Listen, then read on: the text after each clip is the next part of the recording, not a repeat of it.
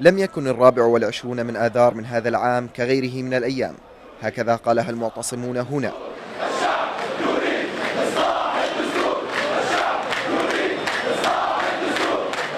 فالرابع والعشرون من هذا الشهر كما يقولون يعني المبيت 24 ساعة متواصلة في هذا الميدان يوميا حتى تحقيق مطالبهم.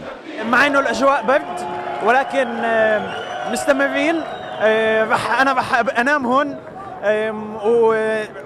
ونيسان جاي نيسان رح يكون أدفى وإحنا مستمرين الوضع مفتوح وهذا الاعتصام مفتوح حتى تحقيق المطالب.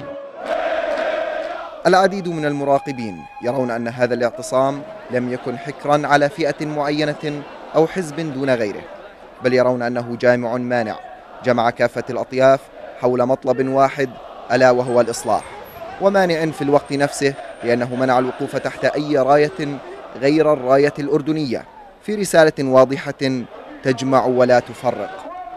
الشباب المعتصمون هنا اليوم يؤكدون أنهم لن يرحلوا حتى تحقيق مطالبهم. فهم يهتفون ليس بالخبز وحده يعيش الإنسان بل بالكرامة والحرية.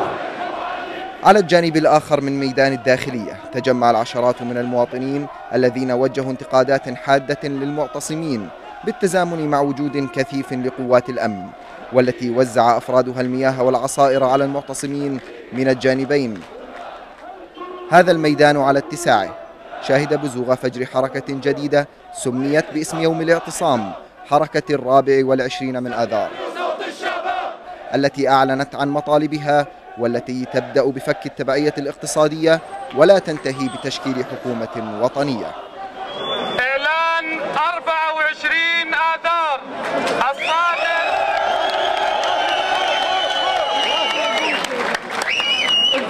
الصادر عن المعتصمين في دوار الداخلية. فإن شباب الأردن العظيم وشعبه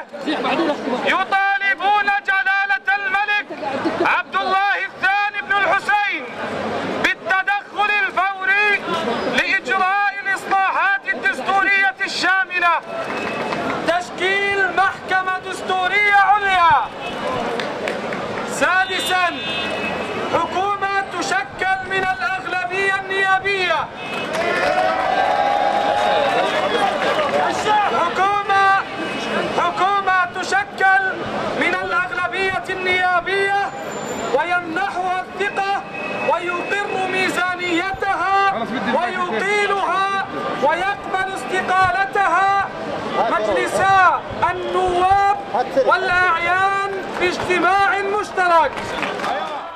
جسر الداخلية لم يكن اليوم جسرا لنقل المركبات فقط ولكنه نقل أيضا أصوات وهتافات المعتصمين الموجهة إلى الحكومة.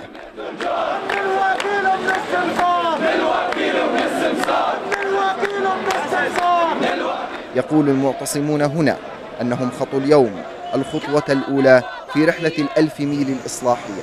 فراس محافظة لبرنامج دنيا الصحافة.